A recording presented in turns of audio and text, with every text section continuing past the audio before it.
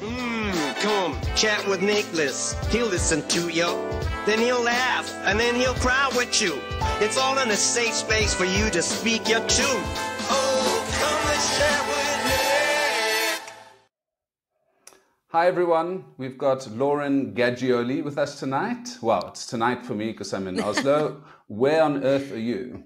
I'm in the Seattle area, the Pacific Seattle area, Northwest okay. of the U.S. So Oh, yes, yeah, so our time's a little bit uh, different. It's uh, 11.30 p.m. here right now. oh my So- goodness, yes, oh, it's yes. only two thirty here. So Ah, glad we could sync up. Thanks for good, staying good. up late. Yeah, well, hopefully this will give you a drive to get through the rest of the day. Mm-hmm. So, so Lauren, um, you've got quite an interesting background, and one of the reasons I wanted to chat to you is because obviously this is a digital marketing and communications uh, podcast. So we're going to be talking about that. But won't you give me a little bit about your background and some of the the cool things that you've been up to? Well, if you go in the way, way back machine, my degree is in theater. Uh, so I went to NYU, uh, studied at Tisch, and um, realized after moving back to LA that uh, something I really appreciate and value is efficiency. And boy, if movie sets are just not an efficient place. I mean, they're doing the best they can, but there's a lot of moving pieces. And I Yeah. found myself incredibly bored as I tried to like climb that ladder.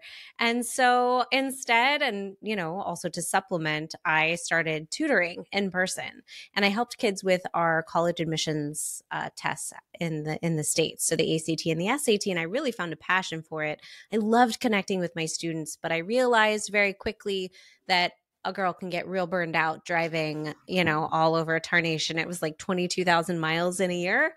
Um, so a lot of time in the car gave me a lot of time to listen to podcasts and learn about the online space. And so way back in 2014, I launched my very first online program. And so it was all in the college admissions space. I had a podcast about college admissions, four different test prep options for folks. But the thing that I found the most exciting was the opportunity in this online space. Like I said, I love efficiency. So if I can create a piece of content and it can be found for years to come and be send people who I am trying to help to my doorstep via Google and search right at the right time that they need the services I offer, my goodness, what what more could you ask for as a digital marketer? And so I really fell in love with SEO and organic marketing as sort of a side and an ancillary aspect to creating the courses and delivering the content. And so as a solopreneur, I was able to generate 200,000 unique users to the site per year. So that's about 16,000 new users from Google for free, no ad spend directly to my doorstep right when they needed me. And I was right there to welcome them with open arms. And it was really powerful as I became a mother, as my family moved from California to Washington, and I was full time momming and getting us set up up here. You know, it was really lovely to work about four hours a week and still trust that I could have impact, that I could serve these students in this really stressful time with techniques that I had honed over the years. And I didn't have to be the one delivering it one to one. It was just a really wonderful sort of full circle way to go from like hustling my buns off and driving all over to like ah the cushy life but still on fire for what I was doing just in a different way and now that's what I help folks with I help solopreneurs and some small businesses build their web presence and to do it by leveraging the power of Uncle Google that already exists. Well, we can we can talk a little bit about uh, how the Google algorithm has changed and how the analytics have changed with the move over to um, from Universal Analytics to um, what's it uh, GA4 Google GA4, Analytics yeah. uh, 4. But I, but I think a, a point that you've made there that uh, people sometimes forget with when they create their content is that whatever you put on the internet stays on the internet, and that's a good thing as well. So when we talk, you're talking about evergreen content. So maybe talk to me about one or two of the pieces of content that have just lived with you since you know uh, that have generated value for you over the years, and, and what was different about it versus other pieces of content that just just never fired. So, I think the main thing is to look at keyword research from the jump through two lenses. So, what we want our websites to do is sort of stand at the intersection of robots and human users right? We have to be thinking along both tracks. So when it comes to doing keyword research and thinking hierarchically and, you know, what sort of content verticals are we speaking to? Where are we demonstrating our expertise, authority, and trustworthiness, the EAT um, that Google is looking for in a website? How are we creating an interlinking structure that supports the site, right? Thinking about the on page SEO, so back end, but also front end. And then thinking about, and this was the piece I didn't quite have when I was, when I launched higher scores, was that understanding the conversion piece. And how do I facilitate transformation for a person with a problem who uses Google as a matchmaker? Because that's what Google is to connect them with the problem that they are trying to solve. They connect, it connects them with the solution. How do I meet that person where they are, reflect that I understand their struggle, and then help them take the first right step and then welcome them into what I call my own ecosystem. So I call it organic marketing ecosystem. How do I facilitate that transformation? So we have to think about where those pieces stand. And one thing that um, my original web designer, I now do kind of everything myself. But in those early days, I knew I was going to have my courses self hosted because I'm a control freak. Um, and I, you know, Stripe was had not been on the scene that long, and so like the the APIs and the integrations that you have just at your fingertips to do yourself these days it wasn't quite the same. So I had to have some custom coded solutions. Um, and so in that process, that was a big investment I made on the front end because I wanted it to all be secure and rock solid. And one thing she said, she's like, I did some quick and dirty keyword research and I found not that many people are meeting a search intent for users who need ACT and SAT test dates available on the same page.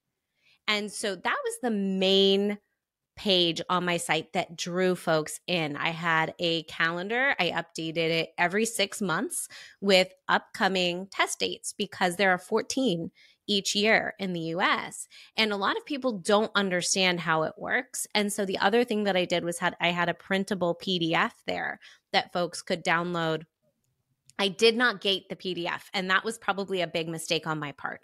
Um, so I made that totally free, and I didn't really capture that traffic as well as I could have for a future conversion. But then down the line, I had an opportunity to write an editorial piece um, for the for USA Today. It was kind of like an ad editorial. It was like kind of a little insert about college affordability, and that was a connection I constantly made between why we do test prep. And I had like numbers to back that up, the ROI that a lot of my students who won amazing scholarships because of their increased scores, I made that connection quite often. And so I was on the short list to be invited to sponsor this. And then I was able to write a piece about that.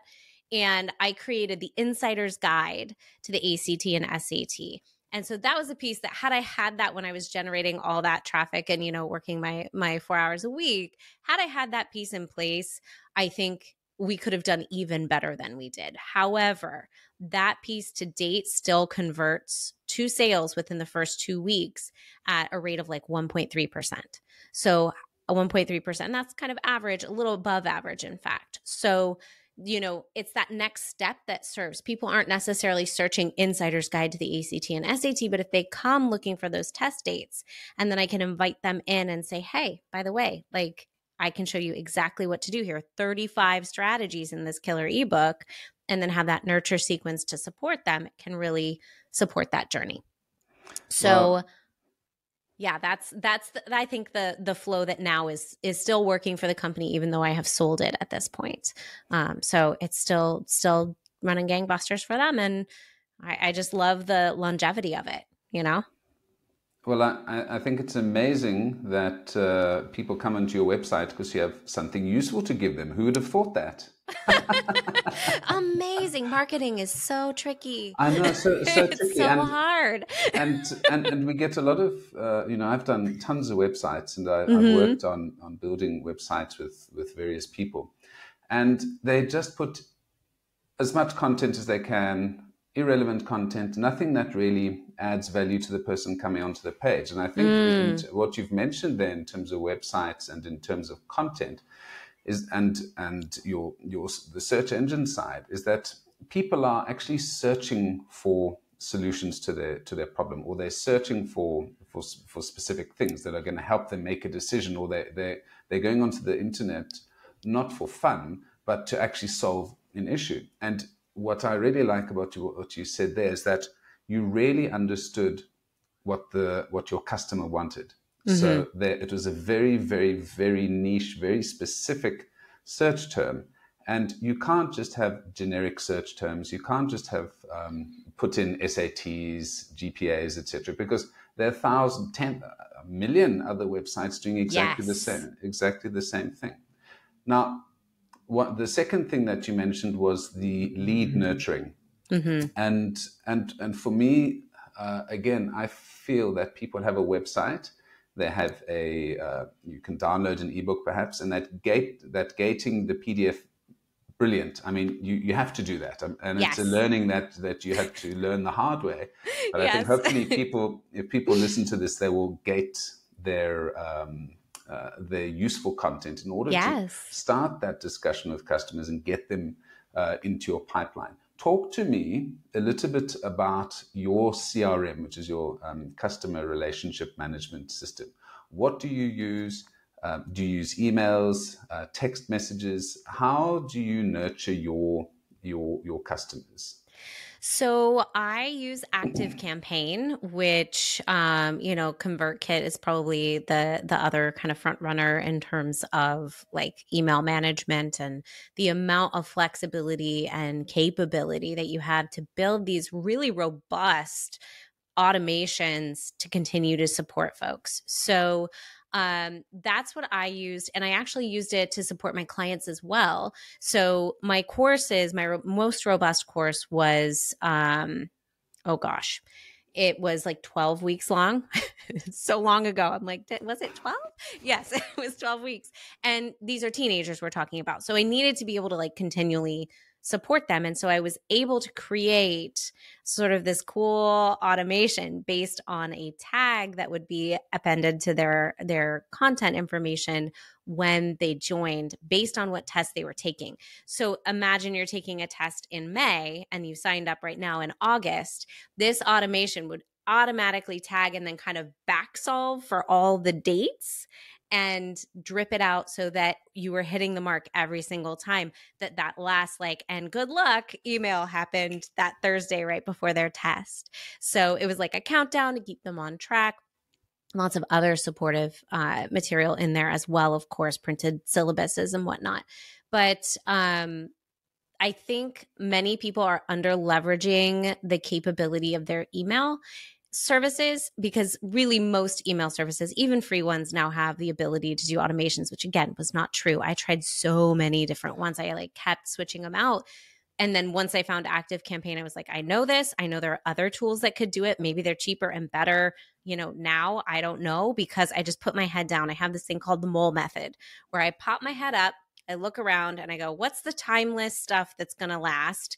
Okay. And I'm putting my head down and I'm just going to execute on that until something necessitates a change because I see so many entrepreneurs get stuck in the whirlwind of shiny object syndrome and wanting to just switch every two seconds. So I try to like curb that in myself. But all that to say, with a nurture sequence, you know, I leverage Thrive Themes on my site as well, um, which is a really amazing uh, plugin and like WordPress management tool. And it allowed me to create ultimatum campaigns that were evergreen. So they would start when a user would click a particular link. So I could provide a special discount, but only for a limited time. And it was different for everybody coming through the door. So I love that, like, you're here, you have the problem now, obviously, because you just found me. Let me kind of give you like everything in the kitchen sink, but in an educational way. So, folks are familiar with like the sideways sales letter, where you take a really long sales letter and you just kind of bloop, trip it on its side and you start dripping out little pieces, kind of like you would do where you're like, I see the struggle you're having Great, let's talk about that struggle and let me give you some quick wins. Okay, next one. You want to take next right steps? Let, here's here's a piece of educational content. Hey, you might have objections about this paid service that I am offering. Let me address that in yet another email. And so you just kind of drip those out for that buyer intent keyword. And you support folks as they are trying to make their decision about who to work with if this is the kind of problem that needs to be solved imminently. If they are not ready to buy, that's okay. Just loop them into a general nurture sequence after that and continue to educate. I think what we have to remember as marketers is that we're not or or sellers. We're not really marketers or sellers. We're problem solvers. And if we come at it through that lens, we necessarily put the person on the other side of the screen first over our need of give me your credit card, give me your credit card, right? And that is obviously a necessary piece of entrepreneurship. You got to make money. Otherwise, you know, why are we here? But you make money when you solve the problem. So help show people how you solve the problem, give examples and testimonials and talk about your methodology. Don't be afraid to like let them peek behind the curtain a little bit. And eventually, if you are the right fit and you show up time after time and say, Hey, remember you asked for this? Can I help you? Hey, remember you signed up for this? Can I continue to help you? Hey, I have additional information that I'm creating. Would you like some more? And you just keep asking how you can serve them. And sometimes it's as simple as a little email that's, Hey, you signed up for this. I haven't heard from you. Are you okay? Like, can I help you in any way? Do you have a quick question? Email me back if you do and you know just kind of creating that personal touch that is i think the best way to support folks to be there ever present when they are ready to finally make that leap to solve whatever problem it is you solve. Well i, I think that's a, a, very good insight you've given there in terms of when the customer is ready to to bite. Um, i i'm very much for the soft touch marketing. So yes. those kind of updates not a hard sell, 50% off now. And it, it, it's, it, it's, it's too insincere. And I think um, the, the, process that drip marketing, um, giving little bit of bits of information, just keeping your brand sort of top of mind or your, or your service top of mind mm-hmm. in a regular way.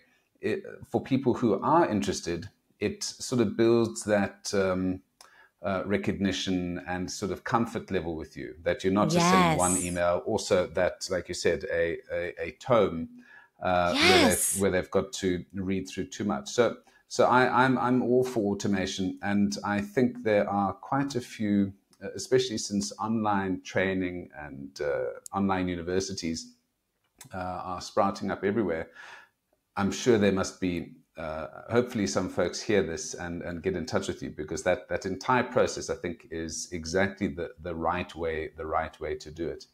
Um, well, and um, it's the kind of thing too. If people are coming to you, I always say I help entrepreneurs turn cold leads from the internet into happy clients. That is not a single step that is many steps and for different prospects it's different amount of steps. And so understanding the avatar of that person on the other side of the screen empathizing with them and being able to meet them where they are and support that and say i see you and i'm here when you're ready. And until then here's here's some good stuff that will get you started at least in the right direction. Now lauren we've spoken about you know uh, this is training and, and uh, courses what other applications have you um, worked on? So, other than training and education, what what um, other industry sort of works nicely with this type of work that you're doing? So, I think every industry there are opportunities when you mm-hmm. start to do the keyword research. When when anybody has a problem, right? Unless you're like trying to crowdsource your friends on social, if you have a problem, you're not scrolling going, "Gosh, I hope Zuckerberg drops the right ad in here."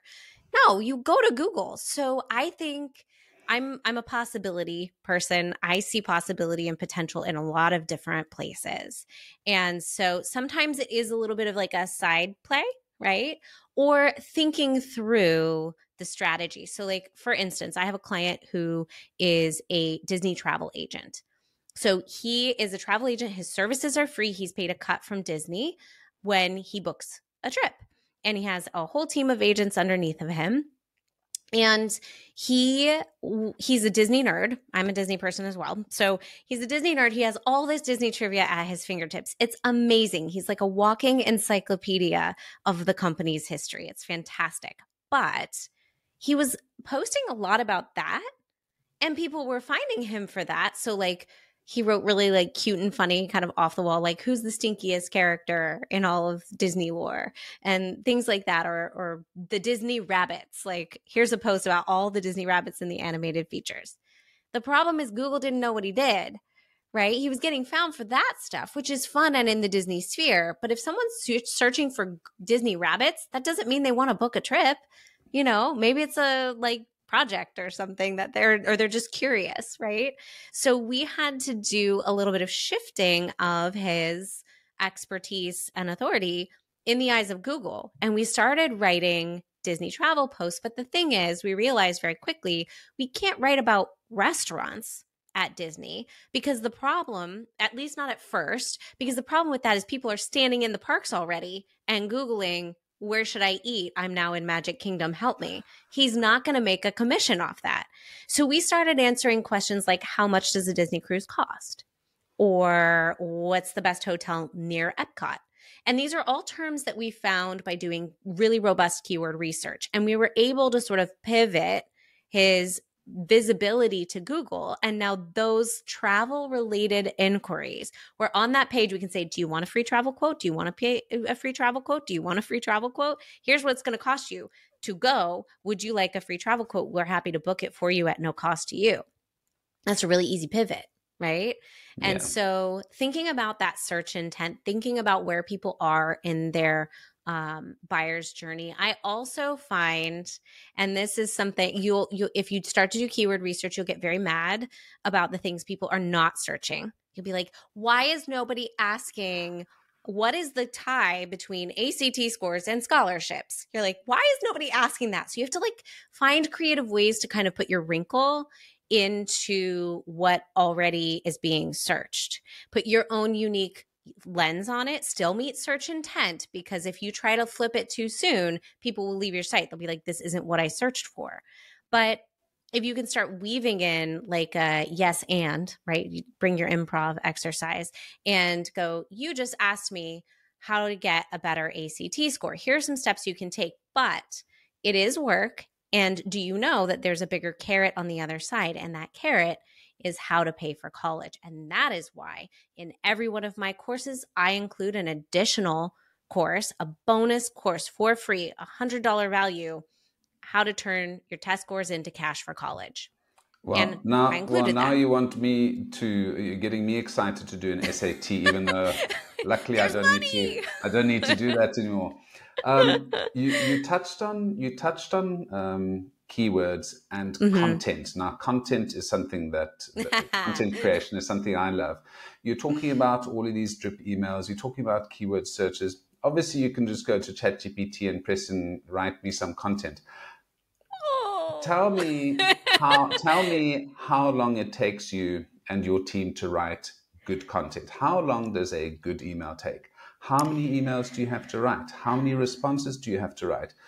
Uh, I want clients and students and people to understand that uh, because it's one I feel it's one of the things that stops people from doing good work is there's I've got to write 100 mails I've got to, and then they just don't do it. So uh, maybe just talk me through that process. How long does it take you? How do you do the briefing? How do you build up the energy to go oh god I need 50 emails 100 emails?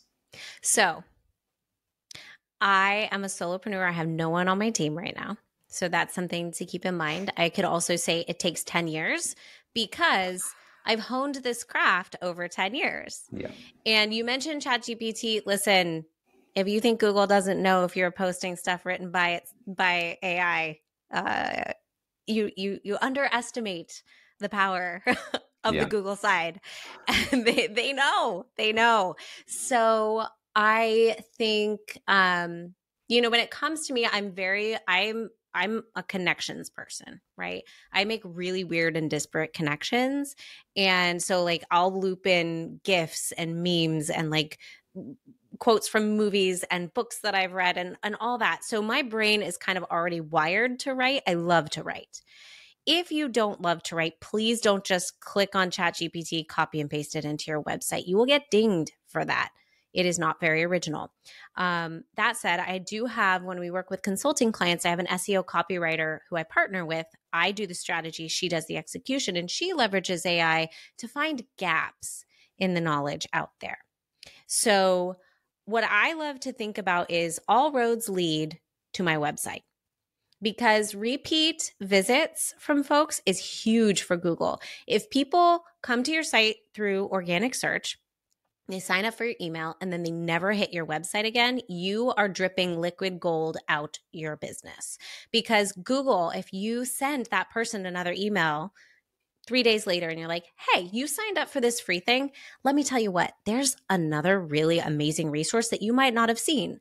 It's this blog post that I wrote about X here's a link come and read more here's a little bit of like a juicy takeaway but i want you to see the original thing and then have them come back to your site and google's going to go oh this person went away and of all the websites in all the towns of the internet they came back to this one right so they are going to see that cyclical effect. So, what I love to think about is I'm going to write amazing content. And sometimes it's really fast. Sometimes I'm able to just do a video, pull the transcript, kind of judge the transcript and chuck it up there. Some days I'm in flow. Some days it's harder, right? Some days you're like, I'm beating my head against the wall trying to get these words out. It's just not happening. So I can't really give, and also I've been doing it for a very long time. So I can't really give like how long it will take someone else, but leverage the research phase and know that less is more in a sense. Like you still need to be moving, but needs to be quality first. So, whatever quality takes for you, just start moving in that direction. Make sure it's research backed, no spaghetti at the walls marketing. Research backed so that you know eventually it will rank. And I will tell you, I'm having a win right now on my site. I am on the third page of Google for a, a post I wrote about nine books um, to help you live your purpose, to help you name and live your purpose. This post, I had to read all nine books, right? So I've technically been researching it for years, but I put those books up there. That post has been living on my site for, I think, about four months. It has about 1,500 potential search volume. It's an opportunity that I found that not many people were capitalizing on. I'm now on the third page of Google for that. So, am I getting any organic search? No, but I'm going to because I just made a video. I'm posting that. I'm embedding that. I'm doing sort of second tier stuff. So, start to think of it in layers, right? You can want to make a YouTube video and an amazing graphic and uh, an infographic, and you want to do social media and all the things. The blog post rules. So write the blog post. Then, three days later, write the drop it into your nurture sequence somewhere. Write that singular email, and then when it starts to jump up, you go, Ooh, okay, now I'm going to go do the YouTube video. And you kind of back solve it. So think of it in layers and coming up with that for yourself. If you're more of an agency or you have a team, maybe you can streamline that a little bit more. But as a solopreneur who just needs to get it out of her head, I'm like, any way I can get it out, I'm getting it out. And the first, all roads start and end at my website. And then I can do nine features of like, hey, I'm that friend who always has a book for you. Here's this book. And by the way, I wrote about eight others on this post. You can go over here and you link it up in a story and you're good. So I can do that now nine times on social. But to me, everything starts with the keyword research and writing the blog post first.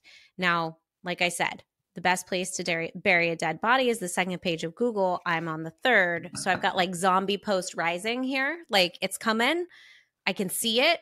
I just, I'm going to keep babysitting it and driving traffic, and then it'll be it'll be up and driving traffic and it's optimized to bring people in and i'm going to get people through my nurture sequence with that and i'm going to be able to help people find and name their purpose and that's going to be amazing. But it's taken a while so it takes time but you have to get started in order for it to get started right? You have to you have to write the post first so do that and understand sort of the strategies around it and the next steps and the next steps and follow those breadcrumbs Well, I feel like you are preaching the gospel to me because there are so, there are so many nuggets in there that if people actually just listen to the you know what you've said, they will it will make a tremendous difference to their lives. But it's difficult, and it is. the the issue, the element that you haven't really touched on, and well, you have actually, is time.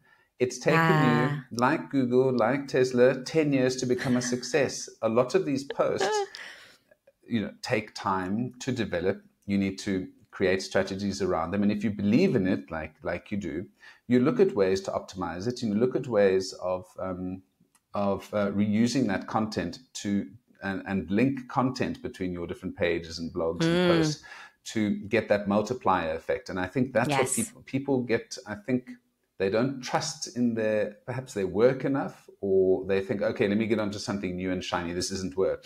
Whereas stick to one thing just for a while don't Yes. go on to you know from b to b to b um, I You saw I- you recognize I that reference. you saw what I you saw what I did there.